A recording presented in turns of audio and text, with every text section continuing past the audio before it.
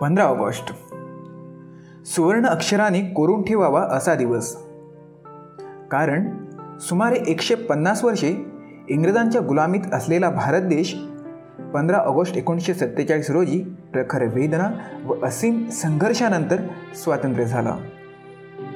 भारताचे पहिले पंतप्रधान पंडित जवाहरलाल नेहरू यांनी आपल्या भाषणात भारताच्या स्वातंत्र्याची घोषणा केली.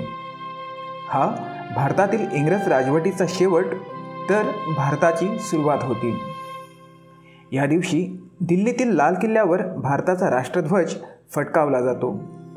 संबंध भारतभर ठिकठिकाणी ध्वजारोहण करून मिरवणुका तसेच सुंदर अशा सांस्कृतिक कार्यक्रमाद्वारे हा दिवस साजरा केला जातो. भारताच्या स्वातंत्र्यासाठी बलिदान देणाऱ्या प्रत्येक ज्ञात अज्ञात व्यक्तीची कृतज्ञतापूर्वक आठवण करण्याचा हा दिवस. व्यापाराच्या निमित्ताने भारतात येऊन ब्रिटिश ईस्ट इंडिया कंपनीने भारतात आपला वसाहतवाद रुजविला. त्यानंतर भारतावर व्यापारी अंमल प्रस्थापित केल्यानंतर ब्रिटिश साम्राज्याचे वर्चस्व भारताच्या उपखंडात प्रस्थापित झाले. इसवी सन सतराशे सत्तरपासून भारतावर इंग्रजांचे राज्य होते. एकोणीसव्या शतकापासूनच सर्व राज्यांना इंग्रजांनी आपल्या सैन्य बळावर ताब्यात ठेवले होते.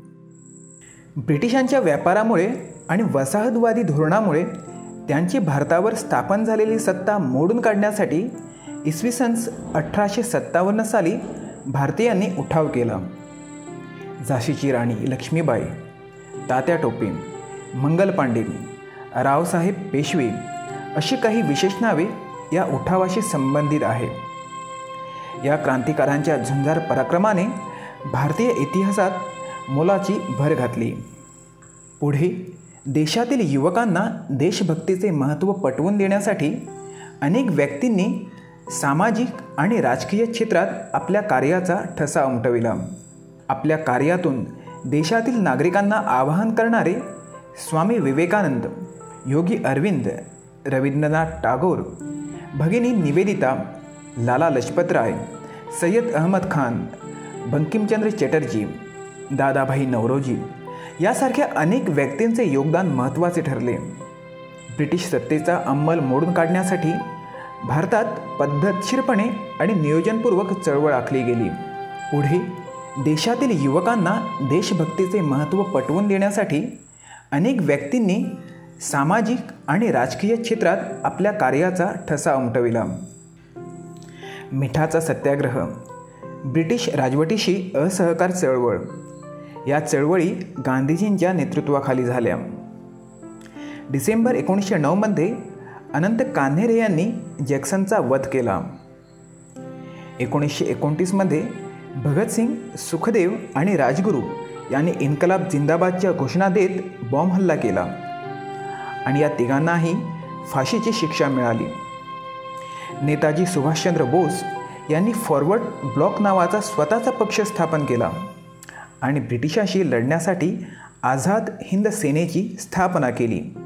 इसवी सन एकोणीसशे बेचाळीस साली तत्कालीन नॅशनल काँग्रेस पक्षाच्या नेत्यांनी ब्रिटिशाकडे भारताच्या स्वातंत्र्याची जोरदार मागणी केली. भारत छोडो आंदोलन झाले. त्यामध्ये भारतातून मोठ्या प्रमाणावर लोकांनी सहभाग नोंदविला.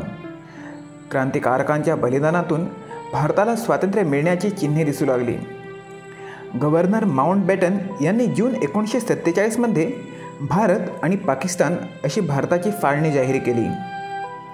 भारतीय स्वातंत्र्य कायद्यानुसार चौदा ऑगस्ट एकोणीसशे सत्तेचाळीसला पाकिस्तान या नव्या स्वतंत्र राष्ट्राची निर्मिती झाली.